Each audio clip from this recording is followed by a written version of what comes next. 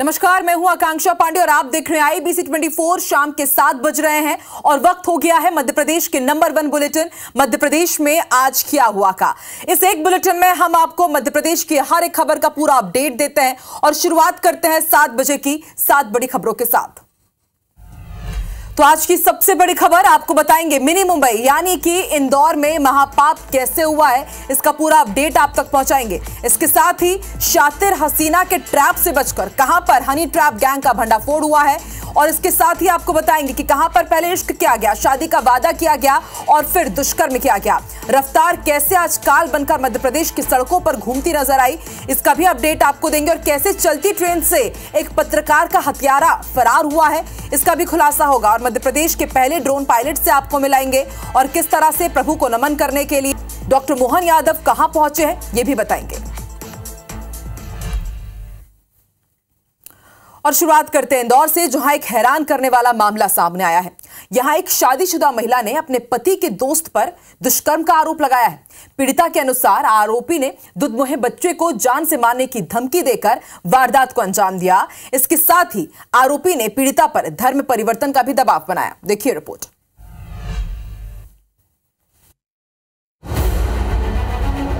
आर्थिक राजधानी इंदौर हुआ शर्मसार। शादीशुदा महिला से दुष्कर्म का लगा आरोप। पति का दोस्त ही बना दरिंदा। दूध मुहे बच्चे की हत्या करने की दी धमकी। पीड़िता ने सुनाई दर्दनाक कहानी। इंदौर में एक शादीशुदा महिला से उसके दूध मुहे बच्चे की हत्या की धमकी देकर दुष्कर्म करने का मामला सामने आया है। आरोपी का नाम काशान है।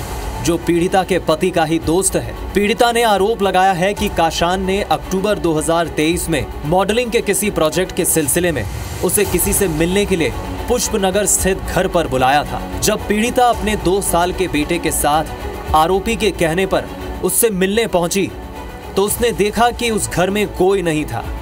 बस इसी बात का फ़ायदा उठाकर आरोपी काशान ने गेट बंद कर दिया। पीड़िता ने आगे बताया कि काशान ने उसके दूध मुहे बेटे के गले पर चाकू रखकर उसे जान से मारने की धमकी दी और दुष्कर्म किया। इस दौरान आरोपी ने पीड़िता के निजी वीडियो भी अपने मोबाइल में कैद कर लिए और उन्हें वायरल करने की धमकी देने लगा और उसके बाद से लगातार ब्लैकमेल कर पैसे वसूलते रहा। मैं एक बार जब अपने बच्चे के साथ मिलने गई तो उसने मुझे डराया धमकाया बोला कि चा, चाकू दिखाया कि बच्चे को जान से मार दूँगा और मेरे साथ गलत काम कर। तो उसके साथ उसने गलत काम किया जिस पर से कि दुष्कर्म की विभिन्न धाराओं के तहत थाना एम रोड में केस रजिस्टर्ड कर लिया गया है। आरोपी कसान को फ़िलहाल हिरासत में ले लिया गया है। यही नहीं पीड़ित महिला ने पुलिस को ये भी बताया कि आरोपी लगातार उसे पति से अलग होकर धर्म परिवर्तन का दबाव बना रहा था। इसके बाद पीड़िता ने परेशान होकर अपने पति को इस बात की जानकारी दी और साथ ही हिंदूवादी नेता मान सिंह राजावत को आप बीती सुनाई। मामला थाने पहुँचा तो पुलिस ने एफआईआर दर्ज कर आरोपी को गिरफ़्तार कर लिया है। अंशुल मुकाती, आईबीसी 24 इंदौर।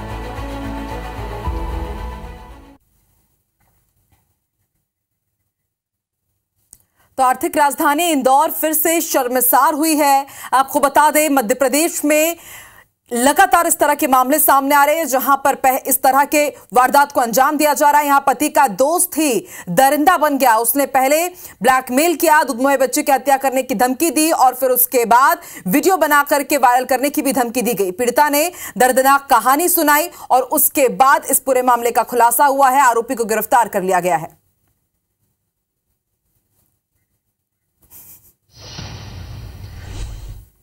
इधर मध्य प्रदेश में एक बार फिर हनी ट्रैप गिरोह का भंडाफोड़ हुआ है। गैंग की दो शातिर महिलाएँ छतरपुर से दरअसल गिरफ़्तार की गई है। पीड़ित युवक की शिकायत पर मामला दर्ज हुआ है। कार्रवाई जारी है। देखिए रिपोर्ट।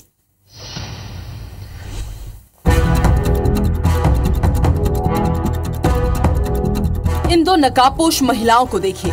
पुलिस गिरफ्त में दिख रही ये दोनों शातिर महिलाएँ। हनी ट्रैप गिरोह की सदस्य हैं। आरोपी महिलाओं पर एक युवक ने हनी ट्रैप के जाल में फंसाकर जान से मारने की धमकी देने का आरोप लगाया है। शिकायत मिलने के बाद पुलिस ने कार्रवाई करते हुए दोनों को गिरफ़्तार कर जेल भेज दिया है।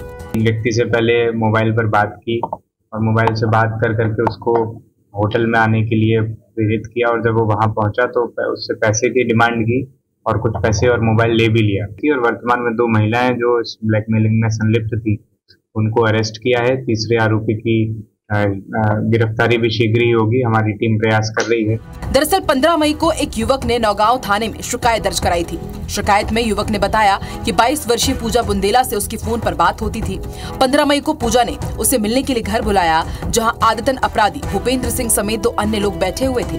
कमरे में घुसते ही सभी ने मिलकर अमित को बंधक बनाकर दो लाख रूपए की मांग की और पैसे न देने आरोप जान ऐसी मारने की धमकी भी दी।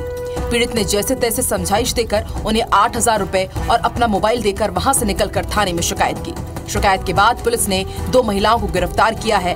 अन्य आरोपियों की तलाश जारी है।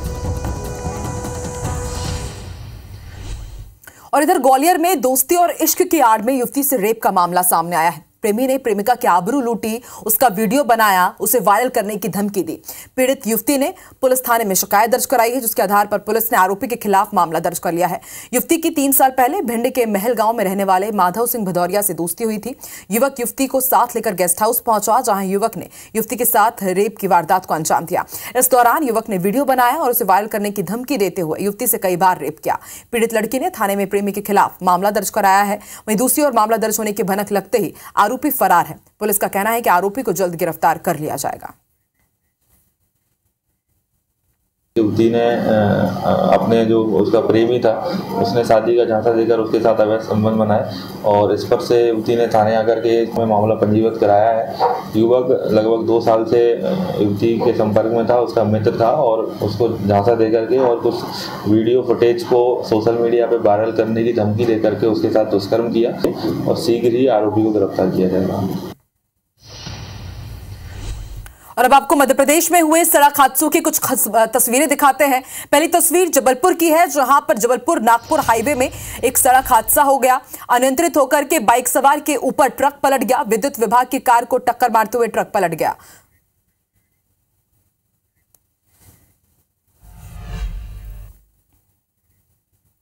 मुझे बड़ी प्रसन्नता है। आज भगवान राम के धाम अयोध्या जाने का मौका मिला। माता सरयू के किनारे अयोध्या धाम में सुप्रीम कोर्ट के निर्णय के बाद यशस्वी प्रधानमंत्री ने और राम जन्मभूमि न्यास ने जो अद्भुत अवसर दिया, भगवान अपने धाम में मुस्कुरा रहे हैं। ये 500 साल का संघर्ष है हमारे मध्य प्रदेश वालों का तो और संबंध है।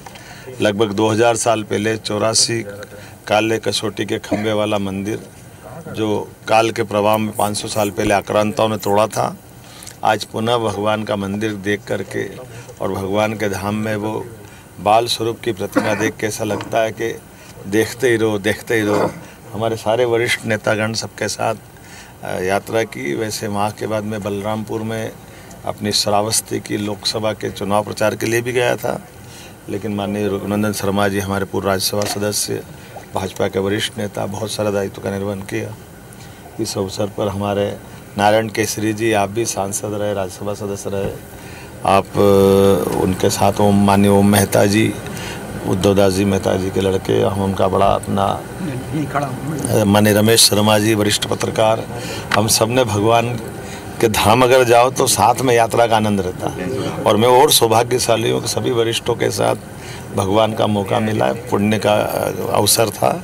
और वैसे भी ये हम सब जानते हैं कि आज के समय में खास करके अब जब भगवान राम मुस्कुरा रहे हैं तो हम सब कामना करें कि अगली बार जमुना जी के किनारे कृष्ण करने ये मुस्कुराए कि परमात्मा मौका दे। जय श्री राम जय श्री कृष्ण। हाँ। एक जगह आया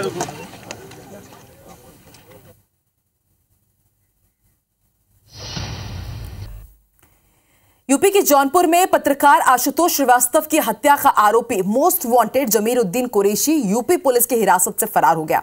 जमीरुद्दीन मध्य प्रदेश के खंडवा में पुलिसकर्मियों को धक्का देकर खंडवा स्टेशन पर चलती ट्रेन से कूद गया। पुलिसकर्मियों को चकमा देने के लिए उसने बाथरूम जाने का बहाना बनाया था। स्थानीय रेलवे पुलिस और यूपी पुलिस आरोपी कुरेशी की तलाश कर रही है। स्टेशन के आसपास की सीसीटीवी फुटेज खंगाले जा रहे हैं। बताया जा रहा है कि जमीरुद्दीन कुरेशी को महाराष्ट्र पुलिस के सहयोग से गिरफ़्तार किया गया था। उसकी गिरफ्तारी मुंबई के भिवंडी दिल्ली से हुई थी। जौनपुर से पुलिस टीम जमरुद्दीन को ट्रांजिट रिमांड पर लेने के लिए मुंबई गई थी। यहाँ से गोरखपुर वीकली ट्रेन में बैठाकर उसे जौनपुर ले जा रहे थे। इसी बीच खंडवा स्टेशन पर देर रात करीब दो से तीन बजे के दरमियान वो ट्रेन से कूदकर फरार हो गया। गेट से कूद के भाग गया चलती ट्रेन में आउटर पे। सीसीटीवी फिर देखे। नहीं।, नहीं देखा फिर वो इधर आए लिखित में आवेदन दिया तो उस पर अपन ने मुकदमा कायम किया है। अपराध क्रमांक एक सौ बारह अबलिक चौबीस धारा दो सौ चौबीस आई पी सी फर्जी दस्तावेजों के आधार पर करोड़ों की ज़मीन खुर्दबुर्द करने के मामले में आईबीसी 24 की खबर का बड़ा असर हुआ है। ईओडब्ल्यू ने छिंदवाड़ा इवेंजलिजिकल लूथरन चर्च के तत्कालीन बिशप इमानुअल पंचू समेत छह लोगों के खिलाफ मामला दर्ज किया है। इसमें गवर्निंग बॉडी सदस्य Anil Mathews archdeacon bishop Anil Martin, सचिव नितिन सहाय, कमलकांत राठी और चर्च के हेड ट्रेजरार अशोक चौकसे शामिल हैं। इनके खिलाफ धोखाधड़ी, अमानत में खयानत, आपराधिक षड्यंत्र और फर्जी दस्तावेज़ बनाने सहित कई धाराओं के तहत केस दर्ज हुआ है। सभी छह लोगों पर आरोप है कि उन्होंने मिलकर जबलपुर फर्म एवं सोसाइटी की इजाज़त के बिना करोड़ों रुपए की ज़मीन बेचकर शासन को करीब एक करोड़ ग्यारह लाख रुपए का चूना लगाया है। वर्तमान में हेड ट्रेजरार के पद पर बने अशोक चौक से अपने साथियों के साथ चर्च के सामने की ज़मीन को बेचने का प्रयास कर रहे हैं। इस ज़मीन पर बड़ा शॉपिंग मॉल बनाने की योजना है। इससे करोड़ों की राशि गबन करने की तैयारी अशोक चौकसे ने की है। अशोक चौकसे ने एक फर्म भी बनाई है और उसमें ये पार्टनर बताए जा रहे हैं। इस मामले में भी ईओडब्ल्यू ने मामला दर्ज कर लिया है। जाँच शुरू कर दी गई है। बिना वैधानिक प्रक्रिया के गलत ढंग से भूमियों का विक्रय किया, जिससे शासन को और संस्था को लगभग एक करोड़ ग्यारह लाख पंचानवे हज़ार की क्षति कारित की गई। ये जाँच में प्रमाणित पाया गया कि इनके द्वारा विधि अनुसार प्रक्रिया का पालन नहीं किया गया है। इसलिए इसमें शिकायत के उपरांत, जाँच उपरांत अपराध पंजीबद्ध कर विवेचना में लिया गया। मध्य प्रदेश सरकार के मंत्री दूसरे राज्यों में चुनाव प्रचार करेंगे। चुनाव प्रचार करने के लिए राज्य सरकार की मंत्री कृष्णा गौर दिल्ली में पहुँचने वाली हैं और आईबीसी 24 से चर्चा में कृष्णा गौर ने बताया कि जल्द ही वो दिल्ली जाएँगी, पार्टी के लिए प्रचार करेंगे और इस दौरान उन्होंने गोविंदपुरा विधानसभा क्षेत्र के मतदाताओं का आभार भी जताया और कहा कि विधानसभा चुनाव के मुकाबले लोकसभा चुनाव में ज़्यादा वोटिंग हुई है। इसके लिए क्षेत्र के सभी मतदाताओं का आभार। मेरी पार्टी का प्रयास उन प्रदेशों पर फोकस करने का है जहाँ चुनाव होने हैं। और इसलिए हमारी ज़िम्मेदारी अब उन प्रदेशों के लिए दी जा रही है। बहुत जल्द दिल्ली में मैं पहुंचूँगी मतदान का प्रतिशत भी अगर हम देखा जाए तो जिन महिलाओं ने वोट किया है, उन्होंने भारतीय जनता पार्टी को वोट किया है। प्रधानमंत्री श्री नरेंद्र मोदी जी के नेतृत्व में अपना विश्वास व्यक्त किया है और जिन महिलाओं के वोट नहीं डले हैं, वो हमारी समर्थक महिलाएँ नहीं रही। आप सांसद स्वाति मालीवाल के मामले में सियासत जारी है और आज मध्य प्रदेश के सीएम डॉक्टर मोहन यादव ने स्वाति मालीवाल के मामले में दिल्ली के सीएम अरविंद केजरीवाल और आम आदमी पार्टी को जमकर घेरा। मुख्यमंत्री डॉक्टर मोहन यादव ने कहा कि पूरे मामले में केजरीवाल अपनी स्थिति स्पष्ट करे। आज़ादी के बाद पहली बार ऐसा हो रहा है कि किसी सीएम को प्रकरण में जेल जाना पड़े और वो पद भी नहीं छोड़े। और उनके घर मारपीट हो जाए। हमारे यहाँ तो महिलाएँ, देवी स्वरूपा मारी जाती हैं। इस प्रकरण को लेकर आम आदमी पार्टी को जनता माफ़ नहीं करेगी। अभी भी समय है, उनको माफ़ी मांगनी चाहिए और इस पूरे मामले में अपनी स्थिति स्पष्ट करना चाहिए। वहीं मामले में बीजेपी और कांग्रेस के बीच जुबानी जंग छिड़ी हुई है। उनके घर मारपीट हो जाए और वो कुछ नहीं करे। ये ऐसी सारी बातों को लेकर के मुझे तो बड़ी निराशा हुई उनके अपने व्यक्तित्व को लेकर के। आप पार्टी को जनता माफ़ नहीं करेगी, ना कोई इनके पदाधिकारियों को माफ़ करेगी। अभी भी समय उनको माफ़ी मांगना चाहिए और इस पूरे मामले में अपनी स्थिति स्पष्ट करना चाहिए। मैं समझता हूँ, आम आदमी पार्टी का मामला है, वो अंदर का मामला, वो सुलझा लेंगे और सुलझाना भी चाहिए। भारतीय जनता पार्टी की बात है तो इस पर तो सवाल उठा रही है। लेकिन हमारी पहलवान बेटियाँ जब न्याय मांग रही थी, क्या मणिपुर देश से बाहर का हिस्सा है? मणिपुर में अस्पत जिस तरह से बहनों की लूटी गई, उस पर भाजपा ने क्या माननीय प्रधानमंत्री तक ने एक शब्द नहीं बोला? एवेंजलिकल लूथरन चर्च के फर्जीवाड़े मामले में आईबीसी 24 की खबर का असर हुआ है। ईओडब्ल्यू ने चैरिटी के चोरों, यानी कि एवेंजलिकल लूथरन चर्च के भ्रष्ट पदाधिकारियों के खिलाफ एफआईआर दर्ज कर ली है। ईओडब्ल्यू जबलपुर डिवीज़न ने फरियादी सरे लॉरेंस की शिकायत पर प्रकरण दर्ज किया है। दो साल पहले ईओडब्ल्यू में शिकायत की गई थी, लेकिन पुलिस की लापरवाही के चलते दो साल तक एफआईआर नहीं हुई। आईबीसी ट्वेंटी ने जब लूथरन चर्च के पदाधिकारियों के फर्जीवाड़े को एक्सपोज किया, तब छह आरोपियों के खिलाफ एफआईआर दर्ज हुई। एफआईआर ईएलसी एमपी के bishop head treasurer Ashok Chowk से अनिल मार्टिन, अनिल मैथ्यू समेत छह लोगों के खिलाफ दर्ज की गई, जिसको लेकर फरियादी सरिल लॉरेंस ने आईबीसी 24 का आभार जताया। जो चर्च की जमीनें थी, जो कि लीज पर मिली हुई जमीनें थी, लाखों की जमीनों को, करोड़ों की जमीनों को इन्होंने कौड़ियों के भाव बेचने का काम किया। और बेचा तो बेचा, वो पैसे भी जो थे, वो चर्च के अकाउंट में नहीं आने पाए। चैरिटेबल संस्था होने के नाते लीज की ज़मीनों को नहीं बेचा जा सकता। अग्रिम कार्रवाई करते हुए ई जो कल्प्रिट्स हैं, उनको बिहाइंड द बार रखने का काम करेगा। मैं I B C twenty four को हृदय से धन्यवाद देना चाहता हूँ। स्टेट जीएसटी की टीम ने मुरैना की दो फर्म, ग्वालियर की एक फर्म के मुख्य व्यवसायिक स्थल और घरों पर छापेमार कार्रवाई की। एंटी एविजन टीम के करीब 300 अधिकारियों ने मुरैना की BR oil mill, BR agro के बानमोर स्थित फैक्ट्री जीवाजीगंज स्थित ऑफ़िस और संचालक सुरेश चंद्र जिंदल के टीआरपुरम निवास पर छापेमार कार्रवाई की। जाँच में स्टेट जीएसटी की टीम को तेल व्यवसाय से जुड़े टैक्स के कागजों में गड़बड़ी मिली। जाँच अधिकारी टैक्स और हवाला से जुड़े कागजात खंगाल रहे हैं। इस कार्रवाई के बाद ज़िले के व्यापारियों में हड़कंप मचा हुआ है और इसे लोकसभा चुनाव से भी जोड़कर देखा देखा जा रहा है। ग्वालियर की एंटी इविजन ब्यूरो की टीम के द्वारा हमारे जॉइंट कमिश्नर धूम सिंह चौहान साहब के मार्गदर्शन में ये कार्रवाई की जा रही है, जिसमें दो मुरैना की फर्में हैं और एक ग्वालियर की फर्म है। टोटल तीन फर्म पे कार्रवाई अभी जारी है, प्रारंभ की गई है। और मुरैना की जो फर्में हैं वो वीआर ऑयल और वीआर एग्रो दो फर्मों पे जाँच की कार्रवाई की गई, की जा रही है। आधुनिक और उन्नत खेती के लिए एमपी सरकार युवाओं को प्रशिक्षित कर रही है और ड्रोन चलाने के लिए प्रदेश में ऐसे तीन ट्रेनिंग सेंटर्स खोले गए हैं। इसके तहत किसान किसान नीलेश पटेल को drone pilot training centre Gwalior से कृषि ड्रोन पायलट का सर्टिफिकेट मिला। नीलेश पटेल जबलपुर के पाटन के रहने वाले हैं। वो 25 दिन की ट्रेनिंग के बाद जबलपुर ज़िले के पहले ड्रोन पायलट बने हैं। प्रशिक्षण प्राप्त कर लौटे नीलेश पटेल ने कृषि विभाग के अधिकारियों की मौजूदगी में उड़ना के एक किसान के खेत में ड्रोन से दवा का छिड़काव भी किया। किसान भाई इस चीज़ को समझें। इसमें नैनो पार्टिकल्स होते हैं, बहुत छोटे छोटे पार्टिकल्स में हमें, हमारे जो पौधे हैं, उनको खाद मिल रही है, यूरिया और डीएपी। तो किसान भाई इस चीज़ को समझें कि जब ये बहुत छोटे छोटे पार्टिकल्स में पत्तियों के स्टोमेटा में ये स्टोर हो जाता है डीएपी और यूरिया और जैसे जैसे पौधों का आवश्यकता होती है, उस आवश्यकता के अनुरूप उसका उपयोग होता जाता है। एक एकड़ कवर करता है और ये छः मिनट लेता है लगभग। और इसको चार्ज करने के लिए भी हमें कंपनी ने एक जनरेटर दिया हुआ है। इसको हमें यहाँ से वहाँ ट्रांसपोर्टिंग करने के लिए एक हमें ई बी बाइक ऑटो दिया हुआ है थ्री व्हीलर और एक जनरेटर सेट दिया हुआ एक चार सेट बैटरी दी हुई हैं, कुछ प्रोपेलर दिए हुए हैं, कुछ सर्विस के लिए टूल बॉक्स दिया गया है। और इस बुलेटिन में फ़िलहाल इतना ही, लेकिन देश और दुनिया की तमाम बड़ी खबरें आईबीसी 24 पर लगातार जारी है। आगे देखिए, छत्तीसगढ़ी भाषा का नंबर वन बुलेटिन हमर बानी हमर गुड़, श्रवण तंबोली के साथ। नमस्कार।